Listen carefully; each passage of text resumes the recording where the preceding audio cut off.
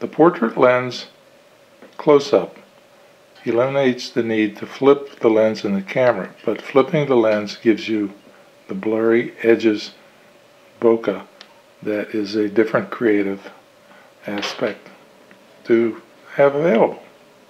Ilford Delta 3200, March 1st, 2016. I'm going to attempt to print some 6x6 negatives that I took of the statue. I used the Hawken camera, Kodak Hawkeye camera, with a flipped lens. This is a Beseler 23C enlarger, and the condenser head has been moved up to two and a quarter by two and a quarter. I'm using a new lens. That's a Beseler Color Pro.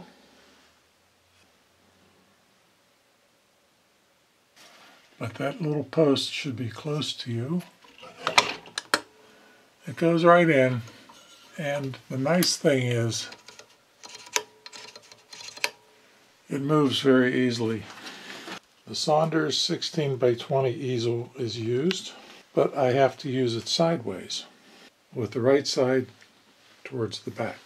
This 16 by 20 easel opens up from the long side and it has a little foot that locks it open when it's up. In order for me to print my photograph on the paper vertically, I have to put it underneath the enlarger in, in a horizontal position. So the lineup is, is set by the paper cutter I bump the paper cutter. That's how far over to the left it goes. And then I use this little box of plates and I push it back and that's how far back it goes on each side. So once I get the paper loaded, I don't have to try to lift it. When I do load the paper, I have to move it over about an eighth of an inch because this side was a little bit wider than this side. And I can't get it get the picture any further that way. So I have to move the paper over to make the border smaller. I've laid out a piece of 16 by 20 paper vertically. So I'm going to have the square format in a vertical field. I have one inch on the left and right. And uh, I don't know, I think it's one and three quarter inches on top and then the rest is like about four and a quarter. Alright, the picture is all framed up. It's 13 and 7 eighths inches square. I've changed the enlarger head to 18 exactly. I'm just going to make it 18 no matter what. And I think that'll be fine. See, it's right on the line there. And this one doesn't really move much. It's all the way up.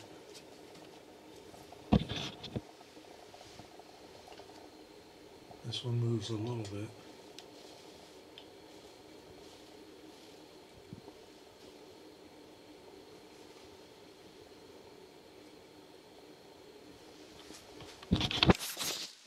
This one moves a little bit. There you can actually see the edge of the picture. I'm using the Beseler 8060. Can you see that? The picture is shiny side up and faces towards the back. I would have to cut the negative to get it to fit vertically. And I don't want to cut the negatives apart and use single frame plastic holders. I use the three frame and four rows. This one, this negative holder is very, very tight and flat. The edge is like, there's no air in between there. You cannot slide the negative. You'll probably scratch it if you try. I have a new procedure for developing 16 by 20 prints now. I haven't used it yet. This plywood board was made a long time ago for watercolor painting. I had to put two spacer boards on it and I stuck a nail through it. Oh, what happens is it fits on the sink like that. It's a little too big, but this is absolutely flat. It slides easily.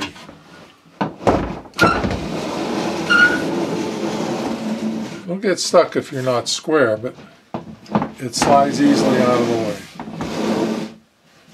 So what I'll do is, my procedure will be, I'll put the stop bath on the tray. I'm only using half a gallon I slosh it around. So that's easy. It's not too full. I can move it out of the way, not worry about it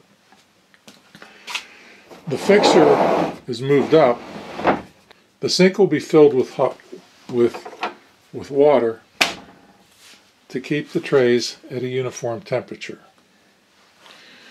And then I use this washer in the sink.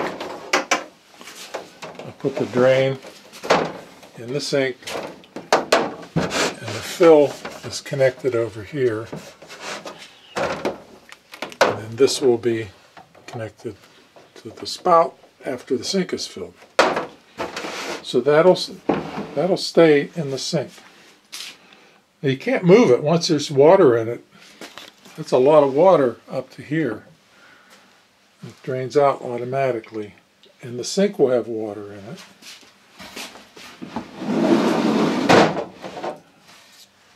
But I could get at the developer.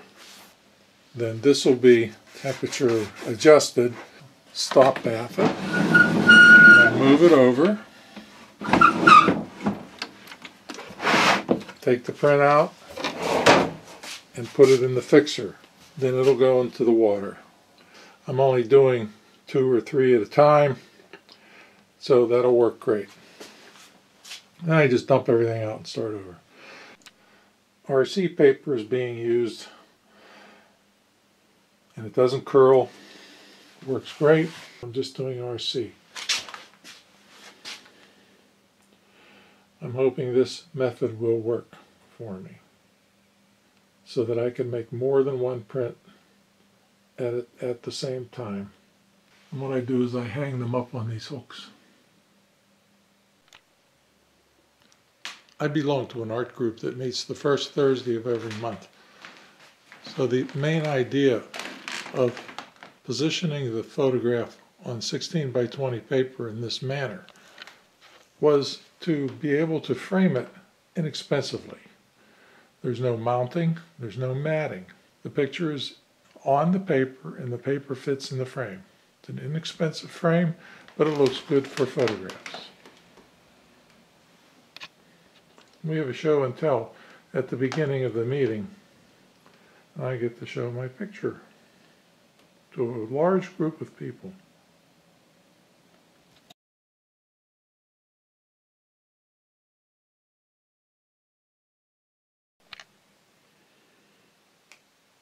A better method is to use the board to hold two trays.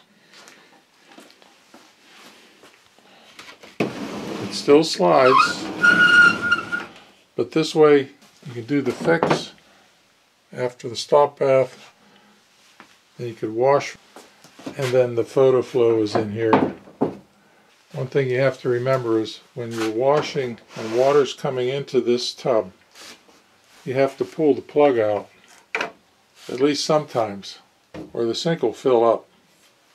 this method works real well. All right, that worked pretty good. I actually washed the prints in the sink and then in the tub. I got four of them. They're hanging up. Bumping the, the, uh, the easel over worked most of the time. This was the last one and uh, has the least exposure. That was the most exposure.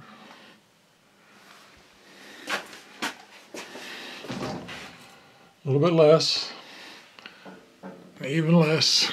That's pretty cool. There's the test. The test was done on 8 by 10 paper instead of a piece of the 16 by 20 and that does not work well.